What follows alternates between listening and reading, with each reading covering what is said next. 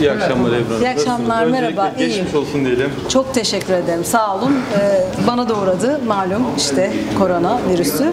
Ama çok şükür e, hafif atlattım.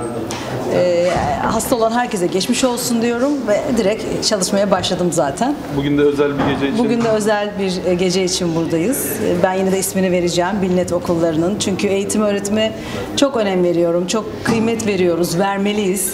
Gençler, geleceğimiz e, çok kıymetli bizim için. Ve aynı zamanda Öğretmenler Günü'nü kutluyoruz Evet, bu akşam. Onun için bir Evet, özel aha. bir gece sahne- Aynen öyle. Yani hem Öğretmenler Günü'nü kutlayacağız hem e, okulumuzun, Bilnet okullarının 5. yılını kutlayacağız. Eğitime, öğretime destek veren herkesi zaten çok seviyoruz. Çok destekliyoruz. E, güzel bir akşam olacak. İnşallah diyelim. Peki Sağ olun. sizin küçükken böyle hayalleriniz var mıydı? Hani küçükken doktor olmak isteyen vardı, öğretmen Evet. olmak isteyen vardı. Direkt şarkıcı olmak istiyorum.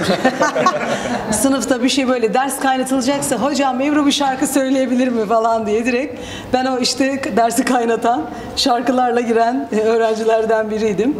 E, hep böyle şarkı söylemek falan ama e, bir de hatırlıyorum çocukken hayvanları çok seviyordum veteriner olmak istiyordum. E, ama işte e, ne, yani çok şükür sevdiğim mesleği yapıyorum. E, çok severek yapıyorum. Ne mutlu bana. Bütün öğretmenlerimize sevgiler, selamlar.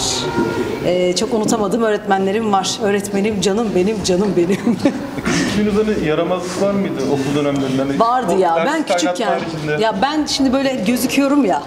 Hani şöyle tuvaletler hanım hanımcık. Evet hanım hanımcık bir tarafım var ama gel, küçükken çocuklar mahallede çete lideriydim o kadar. Yani mahallenin yani olmadık şeyleri benden soruldu. Bildiğiniz çetenin lideriydim yani. Ufak tefek böyle mahalle çeteleri olur ya kızlar çetesi, kızlı erkek.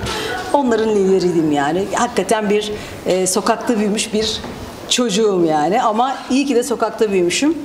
Bizler herhalde son nesiliz sokakta büyüyen. Çocuklarımız şimdi ya okuldalar ya evlerdiler. Yapacak bir şey yok.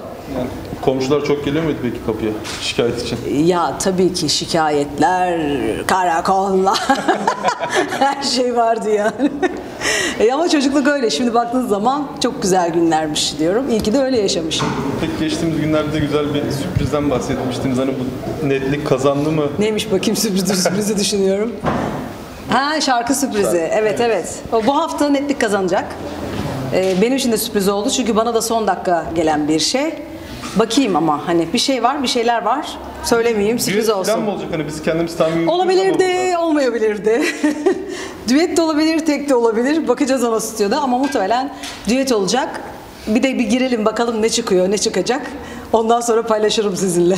Peki o zaman teşekkür ederim. Çok teşekkür ederim. Sağ olun geldiğiniz için. Çok teşekkür ederim.